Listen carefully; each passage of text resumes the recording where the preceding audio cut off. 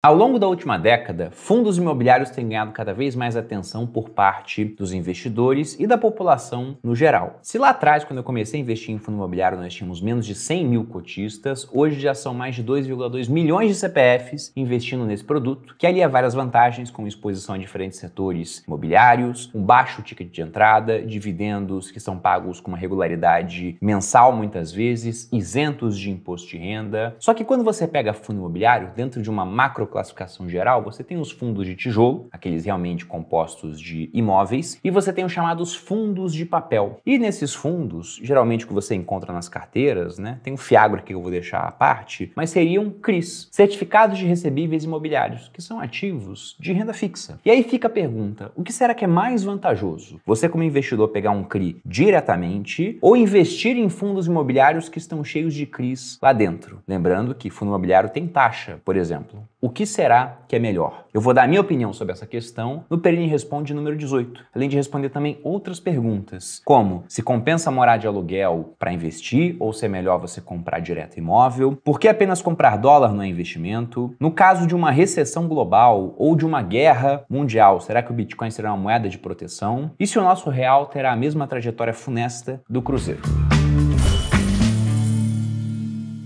E aí, pessoal do Você Mais Rico, quem fala aqui é Bruno Perini, criador do canal. E antes de entrar no assunto do vídeo, começar a responder as perguntas que vocês me enviaram lá no Instagram, na minha última caixa de perguntas, quero lembrá-los que no dia 9 de outubro vamos abrir as inscrições para a segunda turma do Viver de Renda no Exterior, um curso focado em ensinar o brasileiro, que não é mais residente fiscal aqui no Brasil, a investir globalmente, entendendo como funciona a parte de impostos para o seu caso específico. Um gap que nós identificamos que existe nos cursos feitos aqui no Brasil, que geralmente vão falar sempre com brasileiro que paga impostos aqui no país. Na primeira turma, que ficou com NPS de 91, nós tivemos participantes de 25 estados diferentes e todos saíram entendendo como funcionaria o pagamento de tributos, apuração de imposto para o seu caso específico além de também ter condições de investir montando uma carteira global com exposição, se a pessoa quiser, ao mundo inteiro. Então, para quem quiser saber mais informações sobre o curso, sobre o professor, que é o Fábio Fares, está na equipe de suporte já há muitas turmas do Viver de Renda, tem 25 anos de experiência, é analista, mora nos Estados Unidos atualmente, já participou de vários vídeos aqui no canal, também de podcasts. Se cadastre no link que está colocado na descrição. E agora, começando a responder as dúvidas, eu vou iniciar pela da Lu Mesquita. Ela pergunta: FIIs de papel rendem igual a CRI. Então não é melhor ir em CRI olhando o rendimento? Bom, falar que FII de papel, que tem um monte, vai render igual a CRI, que também tem um monte, é uma afirmação muito generalista. Né? Talvez você tenha encontrado um CRI específico e vendo que você ganharia nele, parecia que você teria um rendimento similar ao que você encontrava num fundo de papel. Agora, vamos lembrar que em investimentos a gente não quer só simplesmente retorno. A gente quer um retorno ponderado por um certo nível de risco. E eu, pessoalmente, pessoalmente não vejo vantagem em ficar pegando o CRI diretamente em plataforma de corretora ou para quem é assessorado, por exemplo, né? Quando o assessor manda oferta, vai lá e pega o CRI. Eu acho que há muito mais vantagens em pegar uma carteira de CRIs comprando, por exemplo, um FII de papel. E por que, que eu digo isso? O primeiro ponto é o princípio que eu sigo para montar minha carteira de renda fixa. Se em renda variável eu quero diversificação, ou seja, ter alguns nomes né, para evitar um risco muito excessivo de concentração, mas não quero diversificar demais, senão já tenho um comportamento comportamento quase como de ETF, diminuindo o meu retorno e sem diminuir tanta volatilidade, porque afinal é bolsa de valores, em renda fixa eu não quero apenas diversificar, eu quero realmente pulverizar minha carteira para evitar que um produto de renda fixa que dê errado, e renda fixa é assim, né? Às vezes você tem um rendimento que parece uma linha crescente, até que dá errado você pode perder tudo que você aplicou. Principalmente se você pega produtos que não têm garantia do FGC. Porque estando em um CDB, numa LCI, numa LCA, o FGC, principalmente quando bancos pequenos ou médios quebram, ele dá conta do recado.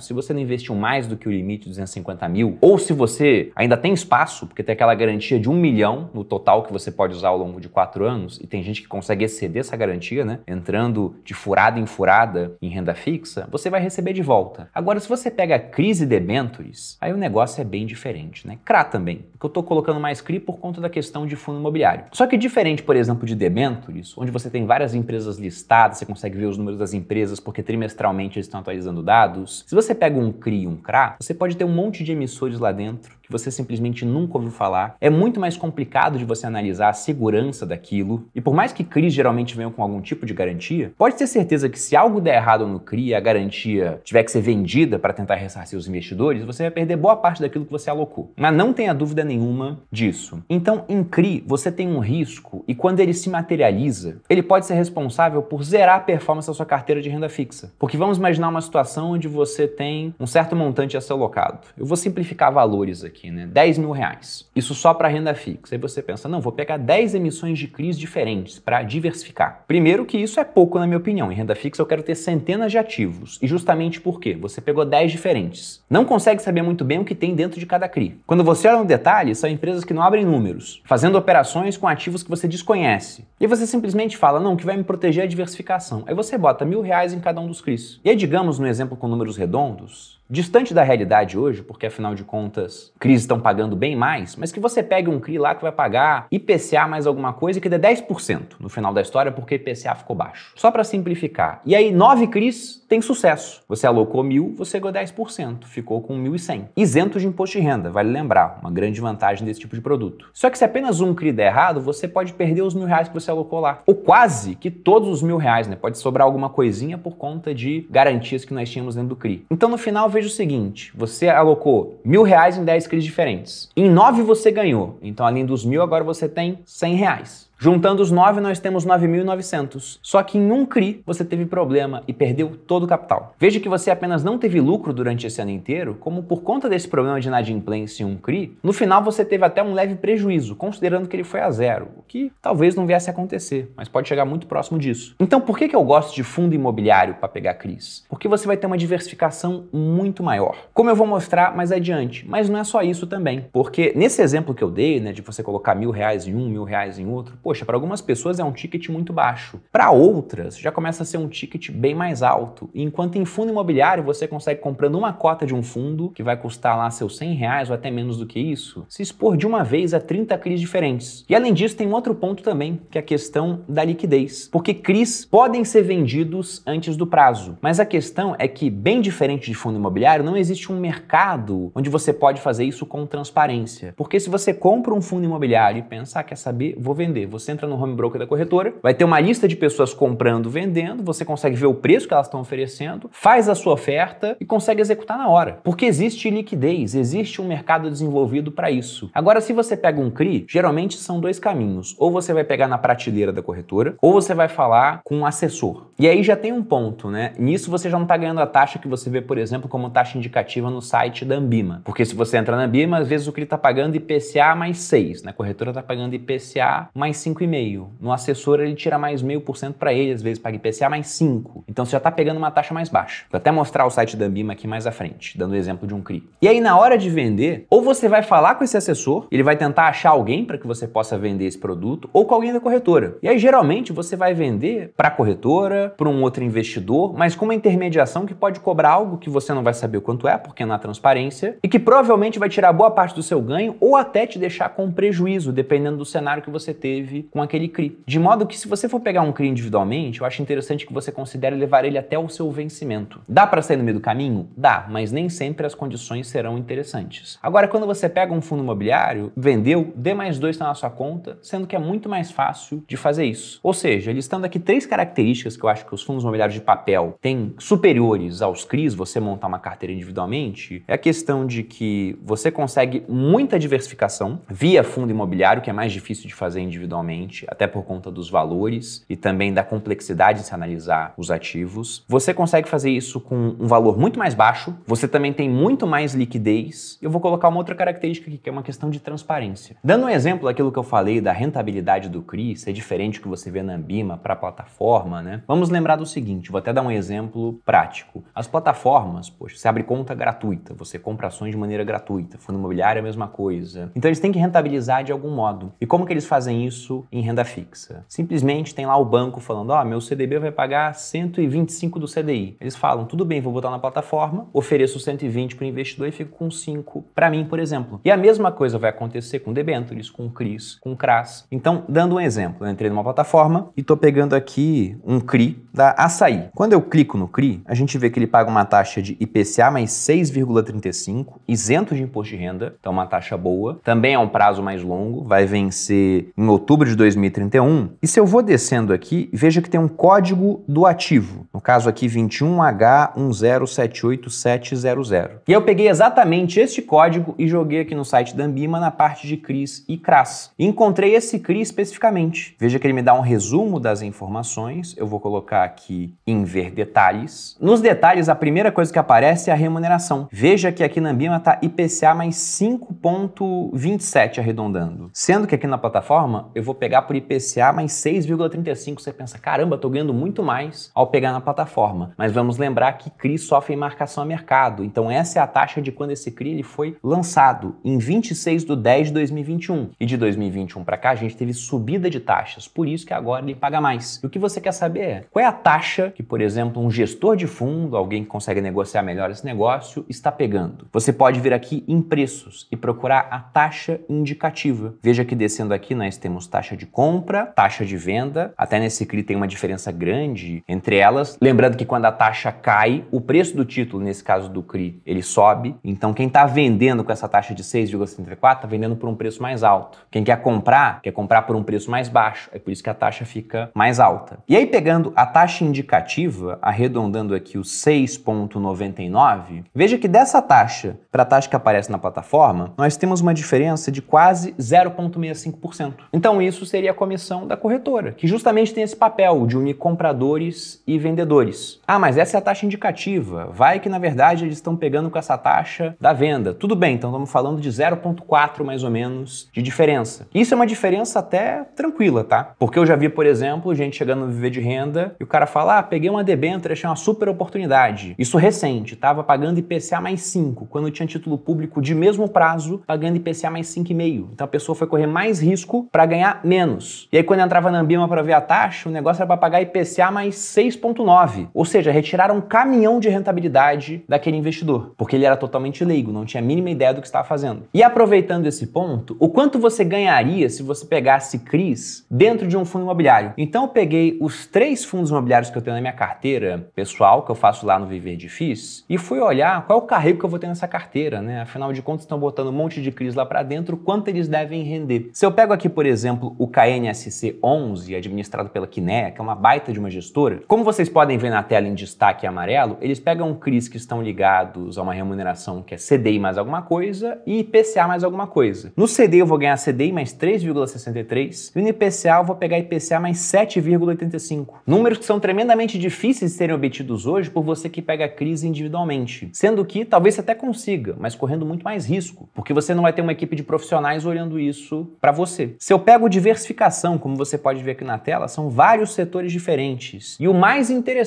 é que nós temos ao todo 72 CRIs dentro da carteira do KNSC 11. E olhando agora essa outra tabela, veja que o maior, ele vai ter uma concentração de 5,4% da carteira. Ou seja, se der um problema nesse, e a chance de dar um problema nesses CRIs de umas gestoras muito boas, que olham com atenção aquilo que estão pegando, é bem menor, mas se vier der um problema e vier zero, eu vou estar perdendo no máximo 5% daquilo que eu investi. Sendo que o meu investimento ele pode ser muito mais baixo. Geralmente, para pegar um CRI individualmente, você precisa de mil reais, por exemplo. Se eu for pegar a cota do KNSC, ela está custando, no momento que eu gravo esse vídeo, R$ 90,37. Só que vamos lembrar que eu tenho três fundos de papel na minha carteira. Tem o KNSC, o KCRE11 e o RBRY11. O KCRE ele tem 35 CRIs, sendo que os CRIs deles têm várias operações imobiliárias, às vezes mil operações de home equity. Então você assentar a bunda na cadeira para analisar mil operações de home equity, eu não faço isso, mas lá dentro do KCRE tem alguém que faz. Eu também tenho o RBRY,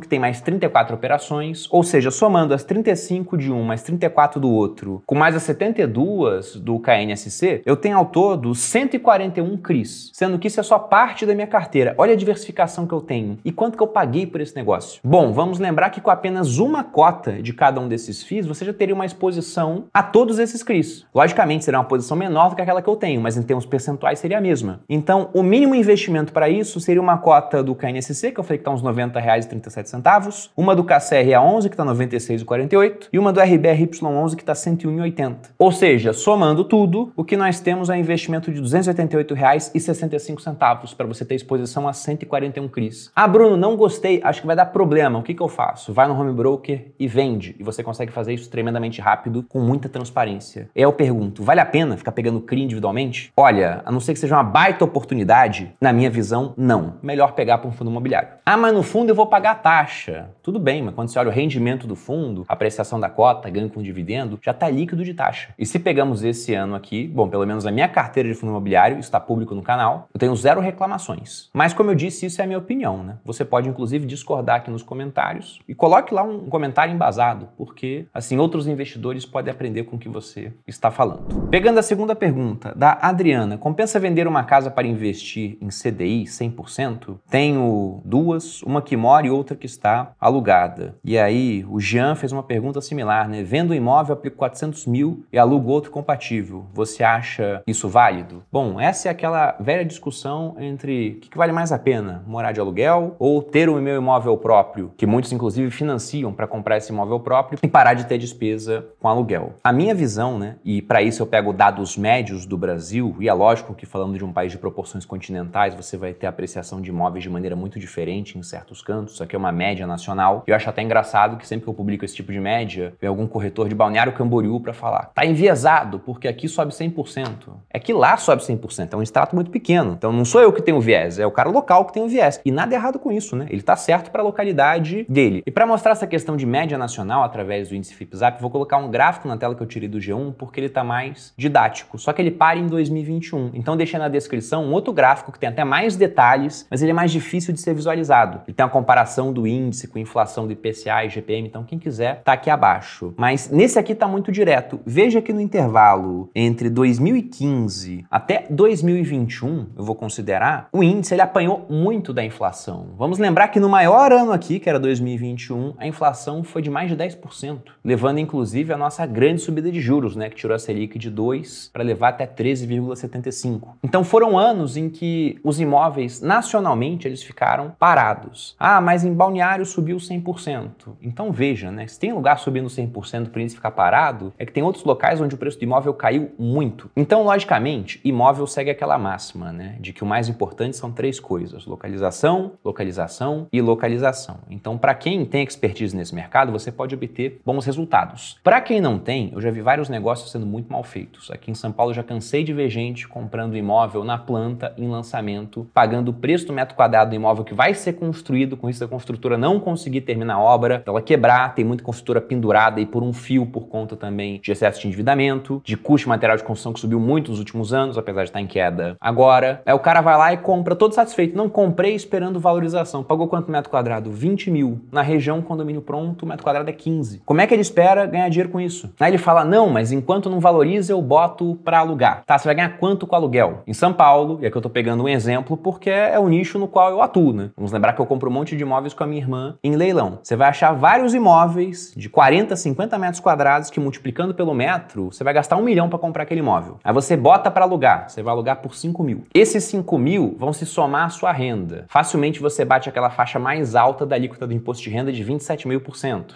Então, seu ganho líquido já será menor, né? Vamos colocar que ao invés de ser 0,5 ao mês, vai ser 0,4 alguma coisa. E aí você pensar, ah, mas eu vou ter também valorização do imóvel. Talvez tenha, talvez não tenha. Vai depender do quanto você pagou no metro quadrado e também do que vai acontecer com esse metro quadrado. Sendo que você poderia ter muito menos trabalho, muito menos risco com o inquilino individual, ao, por exemplo, investir em fundo imobiliário. Se eu pego a minha própria carteira, o yield on cost dela fica na casa de 0,9% ao mês. E nisso eu estou botando só o que eu recebo de dividendos e não considerando a apreciação das cotas. E aí, pensando em imóvel de tijolo, o que, que deve valorizar mais ao longo do tempo? Os melhores prédios de escritório de São Paulo, ali na Faria Lima, imóveis irreplicáveis, não tem mais terreno para construir, ou simplesmente uma casa, um apartamento qualquer. Então é uma escolha que tem que ser pensada, mas eu particularmente só comecei a ter imóveis na minha carteira realmente depois que eu já tinha bastante dinheiro. O pessoal vai falar ah, hipócrita, né? Fala que aluguel é melhor do que comprar o imóvel. Eu fiquei rico porque eu fiz isso. Eu aluguei durante um tempão e investir no mercado, aprender a investir. Hoje em dia eu compro imóvel, eu compro com 20% do que eu tenho na minha carteira. E quando compro, eu não estou comprando igual o pessoal pegando na planta esse tipo de coisa. A maior parte dos imóveis que eu compro é em leilão, ou seja, eu pago um preço bem mais baixo do que o imóvel tem. E essa oportunidade só aparece porque um monte de gente não faz conta na hora de financiar. E aí no final o banco vai lá e toma imóvel de volta, como faz isso com muita gente, em lote, bota para leiloar. E aí aquele pessoal que não fez isso, que foi paciente, tem capital para arrematar. Então minha visão é, tem algo errado com o imóvel? Não. Agora, é o melhor tipo de investimento que existe? Também não. Poxa, isso não é um bom investimento para ter? Porque a vida não é uma planilha financeira. Então outras coisas têm que ser levadas em consideração. Agora, depois que você já tem o seu imóvel, vai ter uma carteira só de imóveis? Não, começa a explorar o mercado. Tem tanta coisa que vai apreciar mais, vai pagar mais, com menos trabalho, pô, então aproveita. De modo que nessas dúvidas aqui, ó, tenho imóvel, tenho dois, não sei o que, que eu faço. Eu acho que é interessante você começar a montar uma carteira verdadeiramente diversificada ao invés de ter todo o seu patrimônio alocado em dois imóveis. E tem gente que faz isso às vezes no mesmo prédio.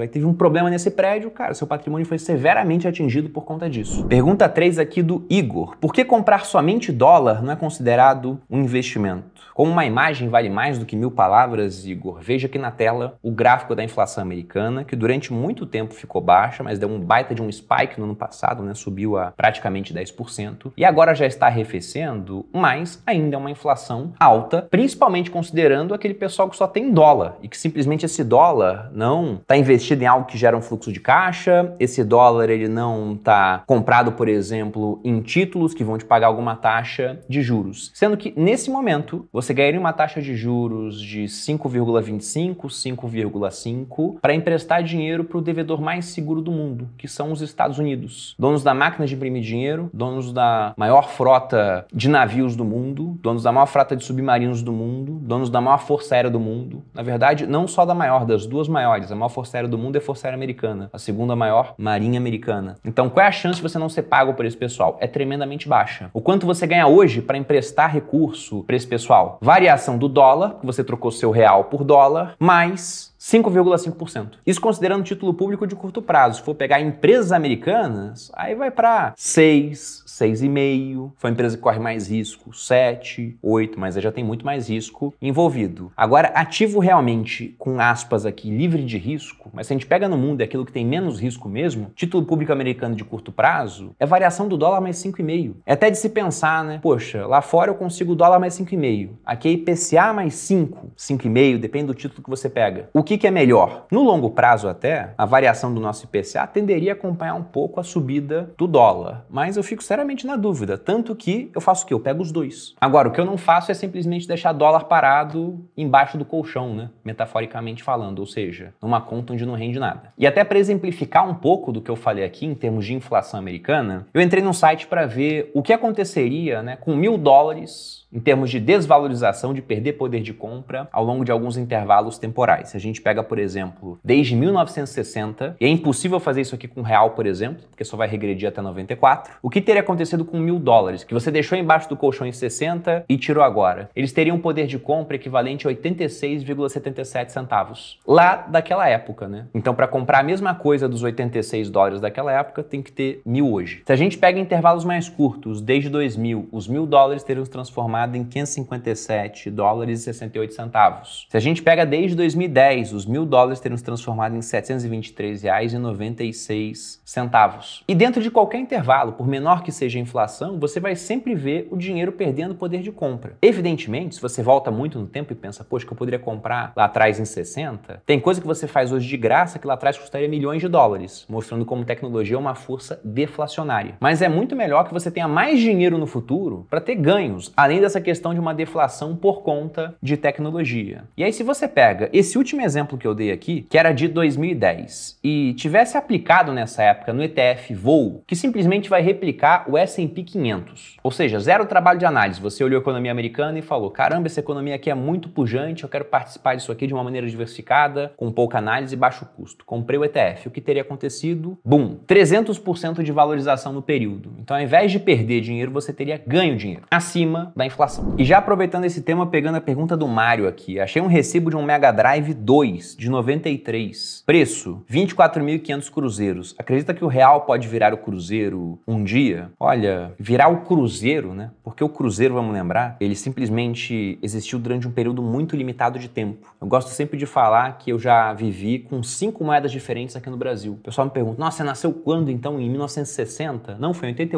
Eu peguei cruzado, cruzado novo, cruzeiro, cruzeiro real. Não tô contando a URV, que foi unidade de conversão, aí veio o real. Então foram cinco moedas diferentes. Sendo que o real foi em 94. Eu nasci em 88, são seis anos. Então praticamente, né, uma troca de moeda a cada período de um ano e pouquinho. Ou seja, a inflação era realmente galopante. Então, ter algo assim novamente no Brasil, né, a minha cabeça linear, ela custa acreditar que pode acontecer. Só que é porque a nossa cabeça linear de ser humano funciona assim. Se nós voltamos na Argentina, lá nos idos de 2015, e por que, que eu cito 2015? Porque naquela época o Brasil teve uma inflação de dois dígitos. A inflação ficou em 10, se eu não me engano, 67 ou 63 foi o último ano do governo Dilma antes do impeachment. E o Brasil entrou para um seleto grupo de países que naquele ano teve inflação de dois dígitos. Tirando países africanos, porque lá você teria vários, se você pega principalmente mundo ocidental acrescido de Rússia, o que você tinha era a Rússia com inflação de dois dígitos, Ucrânia também, ambos envolvidos numa guerra, não vejo que não mudou tanto as coisas assim. E além desses, você tinha Argentina e tinha Venezuela. Venezuela já tinha uma inflação que estava batendo na época uns 70%, e a Argentina tinha uma inflação de 20%. Se você pega hoje, qual é a inflação da Venezuela? Eu não sei. Porque é difícil você calcular a subida de preço sobre uma série de itens que não existem mais no comércio. E também é difícil você acreditar em estatística que vem do governo porque ele é muito fechado. Agora, na Argentina, ainda dá pra gente acreditar em estatística de inflação porque há liberdade de imprensa. E o que nós vemos é uma inflação que era de 20% passando de 100% esse ano. E pode ser que acelere mais, né? Vai saber o que pode acontecer. Então, eu espero que isso não aconteça no Brasil. Agora, dá para falar que não vai acontecer? Bom, falar que não vai acontecer seria simplesmente um exercício de fé, porque eu espero que não aconteça. Agora, para um país que já trocou de moeda nove vezes, né, o real é a nossa décima tentativa de moeda, sendo que com apenas 29 anos já é a nossa segunda moeda mais longeva, perdendo apenas para a moeda da época do Império, começo da República, né, que são os mil réis, eu não sei, né? Eu quero acreditar que nós aprendemos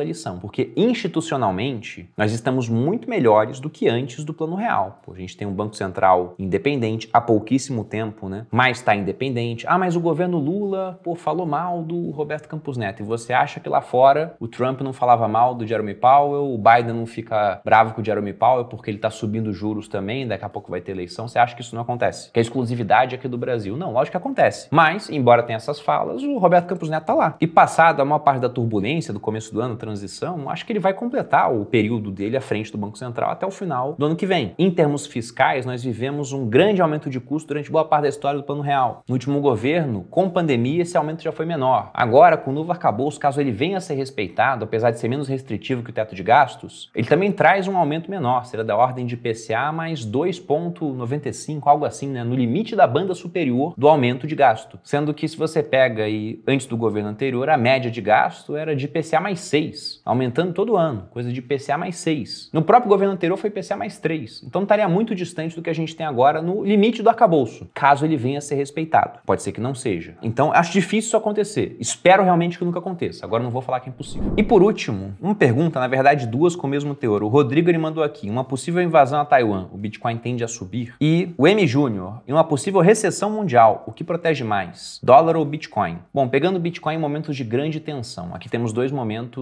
diferentes, né? O que nós temos de comportamento é que, não sei se de propósito ou não, mas vários incidentes desses globais, como por exemplo a invasão à Ucrânia, quando os russos decidiram invadir, isso não foi durante um momento de mercados abertos. Então o que aconteceu é que o que estava aberto na hora é o mercado de cripto, que nunca fecha. De modo que o mercado de cripto, feriado, fim de semana, fora de horário de mercado, ele está sempre funcionando. Então ele costuma ser o primeiro a sentir. Então o primeiro comportamento, quase nunca, né, quando algo assim acontece, é de subida. Geralmente é de queda. Inclusive quedas que podem ser muito bruscas. Porque se você pega a nossa bolsa, tem circuit breaker, que é o mais de 10%, tem pausa de negociação, volta, que é o de novo, pausa novamente. Cripto não tem circuit breaker. O negócio simplesmente vai caindo, caindo, caindo e vai cair até a hora que tiver que parar de cair, porque vai aparecer força compradora. Então são movimentos muito mais voláteis, de modo que em qualquer evento muito negativo, cripto tende a sofrer primeiro para depois subir. Agora, tem características no Bitcoin, isso muito mais voltado para uma guerra do que para uma recessão, que são interessantes. Primeiro, pegando o ponto de vista da guerra, né, para separar, porque são duas situações distintas. Quando o Talibã foi recuperar o controle do Afeganistão, eu coloquei lá no meu Instagram, poxa, imagina quem tem Bitcoin, consegue sair do país simplesmente sem nada, só com a combinação das 12 palavras na cabeça e recomeçar a vida em outro canto. Efetivamente, efetivamente, quantas pessoas puderam fazer isso? Acredito eu que muito poucas, porque eu acho que esse tipo de inovação demora mais para chegar lá. Na Ucrânia, você já teve pessoal postando no Twitter, né? Começou a guerra, o governo foi lá e falou: "Poxa, daqui a pouco tá todo mundo saindo, precisavam dos homens no país para alistamento militar obrigatório". Congelaram recursos em bancos, então o pessoal não podia tirar o recurso, até porque se todo mundo quer ao mesmo tempo pegar a moeda ucraniana e trocar por dólar por euro para sair, a cotação da moeda despenca, e eles estavam enfrentando ali um problema de sobrevivência, né? Podiam ser anexados pela Rússia, mudaria totalmente a história daquela nação, de modo que quem tinha Bitcoin também estava mais seguro. E aí vem um ponto que pode ser comum para guerras e recessão também, que é o seguinte: em recessões, a economia ela simplesmente patinando, desemprego aumentando, sem estímulo, sem demanda. Se você pega a fórmula keynesiana, que ela é muito popular entre governos, eles falam que nesse período vale a pena o governo ele gastar mais. E esse gasto ele pode ser gerado através, por exemplo, de aumento de oferta monetária. O governo vai cria mais moeda e dá um jeito de colocar isso na economia, através de grandes projetos de infraestrutura, de auxílio direto às pessoas. Só que se você tem um aumento de oferta monetária, geralmente isso vai acabar em desvalorização dessa moeda ao longo do tempo, já que você vai ter muito mais moeda concorrendo por um mesmo número de bens e serviços ou um número que pode estar até crescente, mas não de maneira tão rápida quanto foi a oferta monetária. E isso não dá para acontecer com Bitcoin, porque ele tem simplesmente uma limitação. E em guerras, você tende a ter um aumento de oferta monetária também, porque nesse conflito, os países envolvidos vão usar todos os recursos disponíveis. Afinal de contas, pode estar em jogo a sobrevivência. E para ter mais armas, ter mais exércitos, mais mercenários, eles podem criar mais moeda. E isso também pode terminar em inflação, talvez até em hiperinflação. O Brasil é um dos raros casos de um país que passou por um processo hiperinflacionário sem passar por uma guerra. Agora, vários países que sofreram guerras tiveram hiperinflação. Estados Unidos, por exemplo, já teve hiperinflação já nos estados do sul na Guerra de Secessão. Esses estados emitiram títulos públicos, lastreados no algodão que eles produziam, tiveram problemas depois com a sua produção, para escoar essa produção, não estavam mais sendo financiados, aí começaram a fazer o que para pagar o pessoal? Cria mais dinheiro, cria mais dinheiro, cria mais dinheiro, daqui a pouco tinha bola de dinheiro de dólares do sul que não compravam nada. Então a hiperinflação costuma andar de mãos dadas